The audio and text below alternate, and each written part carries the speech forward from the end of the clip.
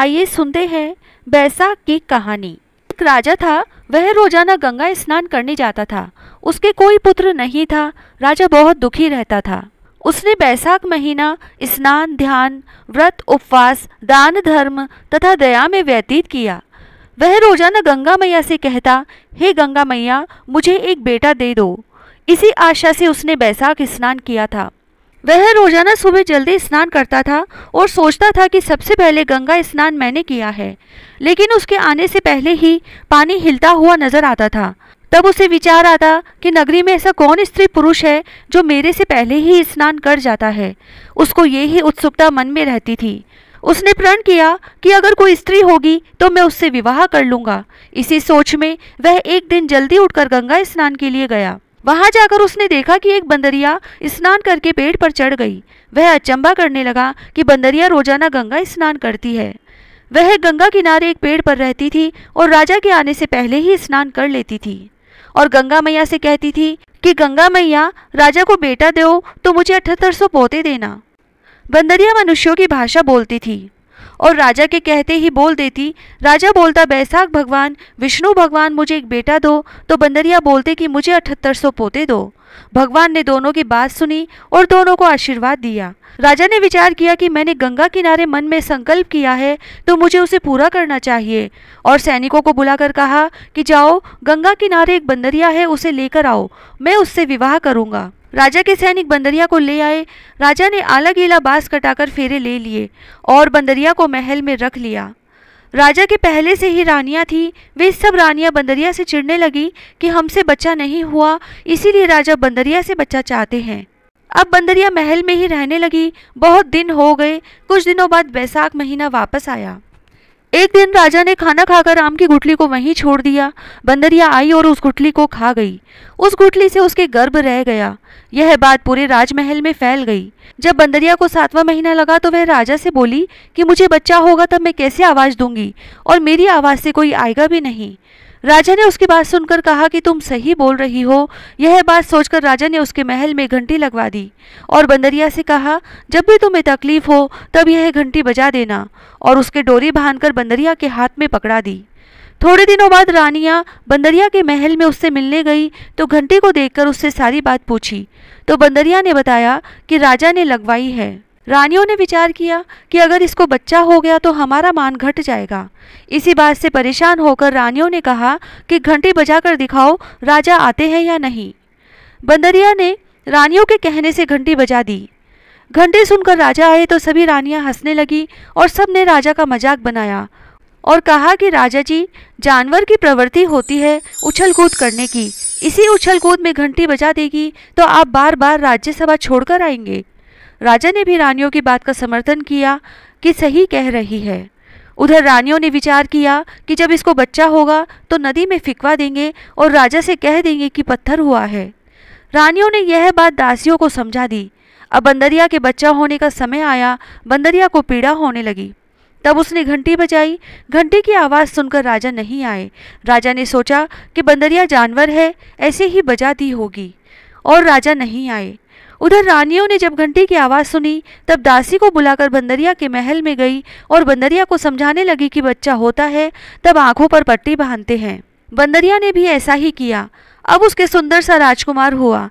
सभी रानियाँ चकित रह गई कि इतना सुंदर राजकुमार पैदा हुआ है। अब हमारा अपमान होगा और बंदरिया का मान बढ़ जाएगा।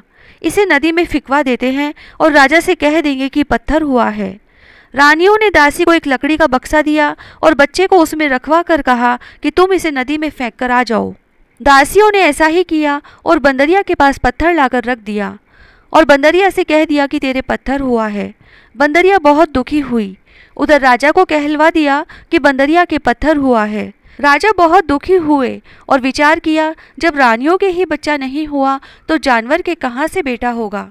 भगवान की इच्छा समझकर राजा ने मन में संतोष कर लिया। उधर एक दासी ने बक्सा ले जाकर मिट्टी की खान में रख दिया।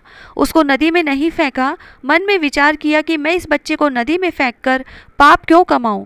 मैं तो इसको रानियों के आदेश से यहाँ ले आई। अब इसको मारकर मुझे क्या मिलेगा? वह उसे रात के अंधेरे में वहीं रखकर आ गई और सोचा कि रात के अंधेरे में मुझे कोई नहीं देखेगा। सुबह जब सूरज की किरणें निकलती है तो कुम्हार घड़े बनाने के लिए मिट्टी लेने गया। वहाँ बक्से में से बालक के रोने की आवाज़ आई तो खोलकर देखा तो इतना सुंदर राजकुमार था। कुम्हार कुम्हारी बहुत खुश हुए, क्योंकि उनके भी कोई संतान नहीं थी। उन्होंने सोचा, भगवान से रोज़ाना प्रार्थना करते थे, आज तो भगवान ने सुन ही ली। बच्चे को लेकर घर आ गए। उधर रानियों ने दासी से पूछा कि बच्चे को बहा दिया क्या? तो दासी ने हाँ कर दी। इधर दिन प्रतिदिन बच्चा बड़ा होने लगा। थोड़े दिनों बाद बच्चा बड़ा हुआ तो बैसाख भगवान की कृपा से बच्चे को सब कुछ पता चल गया कि मैं किसी राजा का राजकुमार हूँ, इनका बच्चा नहीं हूँ। बच्चे ने अपने कुम्हार पिता से कहा कि मुझे मिट्टी के हाथी घोड़े बनाकर दो। कुम्हार ने बच्चे को हाथी घोड़े बनाकर दे दिए। बच्चा मिट्टी के हाथी घोड़े लेकर कुएँ की पाल पर जाकर बैठ गया और वहाँ बैठा बैठा मिट्टी के हाथी घोड़ों से बात करने लगा और उनसे बोला, पियो पियो रे मिट्टी के हाथी घोड़े पानी पियो। तभी राजा की दासियाँ कुएँ पर पानी भरने आई तो दासियों ने कहा कि कहीं मिट्टी के हाथी घोड़े भी पानी पीते हैं क्या? इस बात पर बच्चा खूब हंसा और कहने लगा कि कहीं राजा की रानी के भी पत्थर पैदा होते हैं क्या? यह सुनकर दासियाँ चकित रह गई कि ये बात बच्चे को कहाँ से पता लगी। वे दासियाँ महल में आई तो रानियों से सारी बात कह दी। रानियों ने सोचा कि यह बात राजा तक न पहुँच जाए। इसी चक्कर में रानियों ने राजा से शिकायत की कि कुम्हार का बच्चा कुएँ पर दासियों को गाली दे रहा था। इसीलिए कुम्हार को देश निकाला दे दो। रानियों के कहने पर राजा ने हुक्म दिया कि कुम्हार को दूसरे गाँव भेज दो। नौकर कुम्हार के पास गए और उसे गाँव छोड़ने का आदेश दे दिया। कुम्हार बहुत गिड़गिड़ाया कि मेरा यहाँ पर अच्छा व्यापार चलता है। अगर मेरा व्यापार बंद हो गया तो गुजारा कैसे चलेगा? लेकिन राजा के हुक्म के आगे उसकी नहीं चली, वह गाँव छोड़कर जंगल में चला गया। थोड़े दिनों बाद लड़का और बड़ा हो गया। अब तो सब जंगल में झोपड़ी बांधकर रहने लगे। आसपास बहुत सारे पेड़ पौधे लगा लिए, घर के बाहर छाया हो गई। अब कुम्हार का बेटा एक पेड़ के नीचे बहुत सारे करवे पानी से भरकर बैठ जाता और जो भी कोई उधर से निकलता उसको पानी पिला देता। कुछ दिनों बाद चैत्र का महीना आया। गाँव की लड़कियाँ गणगौर बनाने के लिए मिट्टी लेने कुम्हार के घर गई। दिन में तेज धूप थी तो उनको प्यास लगी। सबने कहा, हमें पानी पिला दो। लेकिन कुम्हार के लड़के ने कहा, पानी एक ही शर्त पर पिला सकता हूँ कि तुम सब लड़कियाँ मेरे चारों तरफ़ परिक्रमा लगाओ। सब लड़कियाँ कुम्हार के बेटे के साथ साथ परिक्रमा लगाती गई और पानी पीती गई और मिट्टी के घड़े लेकर घर आ गई। घर आते ही सब लड़कियों की तबीयत खराब हो गई। तब वैद जी को बुलाकर नब्ज दिखवाई तो वैद जी ने कहा कि सब लड़कियाँ गर्भवती है। सबके घर वाले चकित रह गए। सबने लड़कियों से पूछा तो कुमार के बेटे की सारी बात बताई? सब गाँव वाले परेशान हो गए और सब उस कुम्हार के लड़के के पास गए। उन्होंने सारी बात कुम्हार से बताई। इसने सब लड़कियों से साथ साथ फेरे लगवा लिए। अब हम सब लड़कियों की शादी तुम्हारे बेटे से करेंगे। कुम्हार ने कहा कि मेरे पास तो रहने को घर नहीं है, मैं इतनी सारी बहुओं को कैसे रखूँगा? सब लोग वापस राजा जी के पास गए और राजा जी से शिकायत करी। कुम्हार के बेटे ने सभी लड़कियों से फेरे ले लिए और अब कुम्हार के पास बहुएँ रखने को घर नहीं है। अब हमारी बेटियों से शादी कौन करेगा? ऐसे हाल में हम बेटियों को कहाँ भेजेंगे? राजा ने सभी की बात सुनी और खुद कुम्हार के घर गए और उसको कहा कि मैं सबके लिए घर बनवा देता हूँ, सबको बहू बनाकर ले आओ। कुम्हार व राजकुमार राज़ी हो गए और हाँ भर दी। अब राजा ने जंगल में शहर बसा दिया, बहुत सारे घर बनाकर दिए और सबने अपनी बेटियों का विवाह धूमधाम से किया। थोड़े समय बाद कुमार की सभी बहुओं को बेटे हुए। अब कुमार बहुत खुश हुआ कि कहाँ तो मेरे बेटा ही नहीं था और कहाँ भगवान की कृपा से इतने सारे पोते हो गए। अब राजकुमार कहने लगा, पिताजी, आप दादा बन गए, इस खुशी में जग हेड़ा लगाएँगे। कुमार ने बात मान ली और पूरे गाँव को न्योता दिया। राजा व रानिया नौकर चाकर सबको बुलाया और अपनी माँ बंदरिया को भी बुलाया। राजकुमार ने बंदरिया के लिए रथ भेजा, गहने वस्त्र भेजे कि बंदरिया यह सब पहनकर रथ में बैठकर गाजे बाजे से आए और उसका सिंहासन भी सबसे ऊँचा लगवाया। अब सब गाँव वाले आ गए राज परिवार भी पूरा आ गया और बंदरिया भी रथ में बैठकर आ गई। अब बंदरिया को सबसे ऊँचे आसन पर बिठाया। यह देखकर सभी रानियाँ क्रोधित हो गई। कि हमारी इज़्ज़त कम कैसे करी? हमको नीचा आसन दिया। सबने राजा जी से कहा कि आपने कुम्हार की इतनी सहायता करी और इसने आपका सिंहासन नीचे लगवाया है, जबकि बंदरिया का आसन ऊँचा लगवाया है। राजा जी बोले, थोड़ी देर में बात करते हैं, पहले सबको भोजन कर लेने दो। इधर राजकुमार ने सभी पत्नियों से कहा कि ये बंदरिया मेरी माँ है और मैं इसका बेटा हूँ और तुम सब इसकी बहुएँ हो। इसीलिए सभी पत्नियाँ बच्चों को माँ की गोद में देती जाओ और पाँव छूती जाओ। सभी बहुएँ बंदरिया को बच्चे गोद में देती गई और पाँव छूती गई। यह सारा दृश्य सभी गाँव वाले देखते रहे। राजा जी व उनका सारा परिवार भी देखते रहे। यह सब देखकर राजा जी को अचंबा हुआ और उसने राजकुमार को बुलाकर पूछा कि ये क्या हो रहा है। राजकुमार ने सभी रानियों व दासियों को बुलाकर कहा कि ये मेरी माँ है और आप मेरे पिता हैं। और ये सब आपके पोते हैं। राजा ने पूछा कि यह कैसे हो सकता है? तब राजकुमार ने दासी का हाथ पकड़कर कहा कि सच बताओ। तब दासी ने डर के मारे सारी बात बताई कि बंदरिया के बेटा हुआ था और मुझे रानियों ने कहा कि इसको नदी में फेंक आओ लेकिन मैंने इस कार्य को पाप समझकर इसे कुमार की खान में छोड़ दिया। ये वही राजकुमार है महाराज जो बंदरिया से हुआ था और आपको झूठ कहा था कि बंदरिया के पत्थर हुआ है।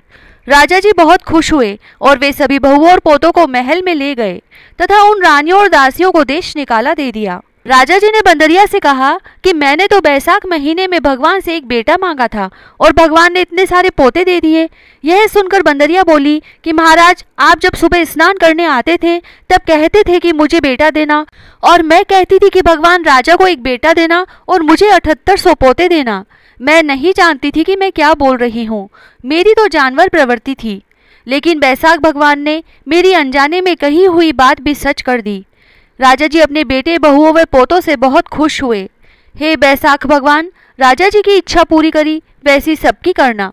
कहता ने सुनता ने हुकारा भरता ने अपने सारा परिवार की मनोकामना पूरी करना।